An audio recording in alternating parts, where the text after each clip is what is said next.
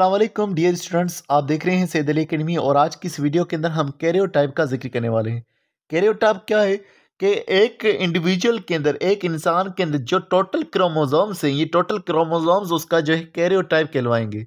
तो लिखा हुआ है the particular area of chromosome that an individual is called karyotype यानी एक पर्टिकुलर सेट क्रोमोजोम का जो जानदार के अंदर मौजूद है, उसे हम कैरियो टाइप कहेंगे विच में differ greatly between different species अलग अलग स्पीशीज में कैरियोटाइप अलग होगा। जैसे कि हम पहले ज़िक्र कर चुके हैं, यहाँ देखिए पेंसिलियम के अंदर अलग क्रोमोजोम है मॉस्किटो के अंदर अलग है डोर्सिफिलिया के अंदर अलग है ह्यूमन के अंदर अलग है। तो इनका कैरियोटाइप अलग अलग है, यानी कि ह्यूमन का जो कैरियोटाइप है, वो 46 है फिर का कैरियोटाइप 26 है।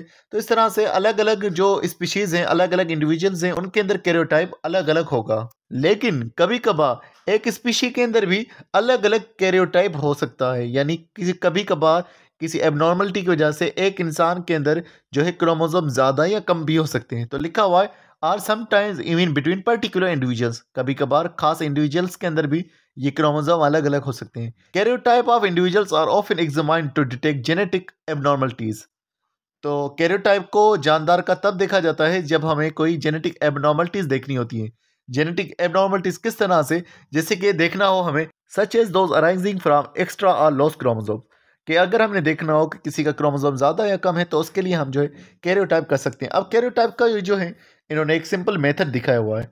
सिंपल मेथड किस तरह से? यानी कि किसी एक इंसान से जो है वो ब्लड लिया गया, अब उस ब्लड को सेंट्रीफ्यूग किया गया। सेंट्रीफ्यूगेशन हम पहले पढ़ चुके हैं कि सेल को अलग अलग किया जाता है। जब सेल अलग अलग हो जाएँगी तो डब्ल्यूबीसी और उसमें से जो है आरबीसी को निकाला जाएगा। अब आरबीसी हमारे काम के नहीं है, हमें डब्ल्यूबीसी चाहिए, क्योंकि आरबीसी के अंदर न्यूक्लियस नहीं होता तो क्रोमोसोम उसके अंदर नहीं मौजूद होंगे। तो हम जो है डब्ल्यूबीसी को निकालेंगे और डब्ल्यूबीसी को एक अलग ट्यूब के अंदर दाखिल कर देंगे। और उसके अंदर हम एक केमिकल को ऐड कर देंगे, जिसका नाम है कोल्की साइन कोल्की साइन जो है, वो कुछ टाइम के लिए जो है सेल की डिवीज़न को रोक देगा।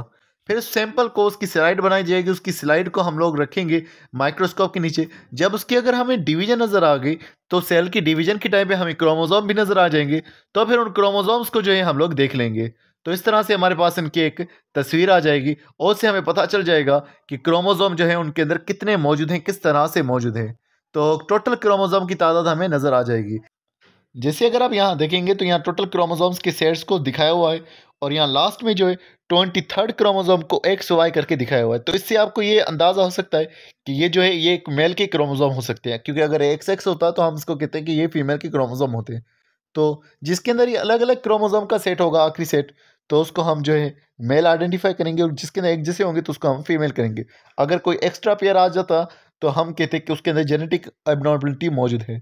तो डियर स्टूडेंट्स आज के लिए बस इतना था। नेक्स्ट वीडियो के नाम इंशाल्लाह नेक्स्ट टॉपिक को ज़िक्र करेंगे। तो मिलते हैं नेक्स्ट वीडियो में। तब तक बहुत सारा ख्याल रखिएगा। असल